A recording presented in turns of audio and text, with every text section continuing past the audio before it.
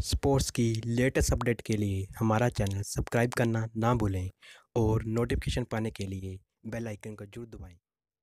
नमस्कार दोस्तों I P दो को लेकर लगातार ताज़ा और बड़े अपडेट सामने आ रहे हैं। दोस्तों बीसीआई की एजीएएम मीटिंग 24 दिसंबर को होनी है। इसी दौरान आई पी दो को लेकर बीसीआई बड़े फैसले कर सकती है। दोस्तों, आई पी एल को लेकर सबसे बड़ा फैसला तो ये लिया सकता है कि इस बार आईपीएल में कितनी टीमें खेलती हुई नज़र आएँगी। दोस्तों, अभी तक जो खबरें सामने निकल कर आ रही हैं, उससे पता चला है कि आईपीएल में दस टीमें खेलती हुई नज़र आएँगी। लेकिन दोस्तों, अगले साल आई पी दो में नहीं, बल्कि आई पी दो हज़ार बाईस में। जी हाँ दोस्तों, आई पी दो में पहले की तरह आठ टीमें ही खेलेंगी। दोस्तों, इसके बाद दूसरा बड़ा सवाल ये था कि आई पी इक्की के लिए खिलाड़ियों का ऑप्शन होगा कि नहीं? अगर ऑप्शन होगा तो कब होगा? दोस्तों, अब पता चला है कि आई पी इक्की के लिए ऑप्शन तो होगा, लेकिन मेगा ऑप्शन नहीं होगा।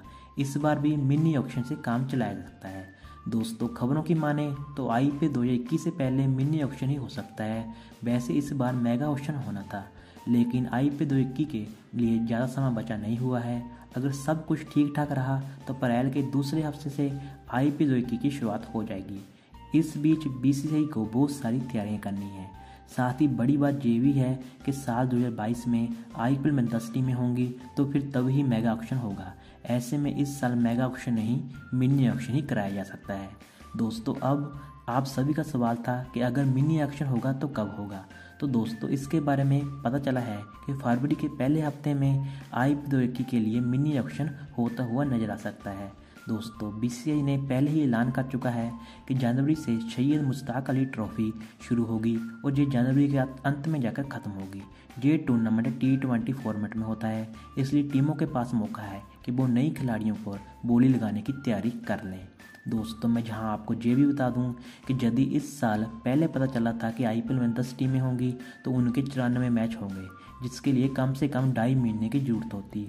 दोस्तों, क्योंकि भारतीय टीम ने इस साल बहुत सारी टीमों से सीरीज़ भी खेलनी है। ऐसे में ये टूर्नामेंट बहुत ही लंबा हो जाता है। इसलिए बीसीसीआई द्वारा ये फैसला लिया गया कि इस साल आईपीएल में मिनी ऑप्शन ही होगा और आठ टीमें ही खेलेंगी।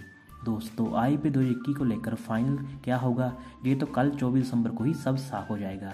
इस दौरान बी की मीटिंग होगी। दोस्तों, आज की इस वीडियो में इतना ही। अगर आई पी दो की कोई भी न्यूज़ आएगी तो हम अपने चैनल पर जल्दी अपलोड कर देंगे।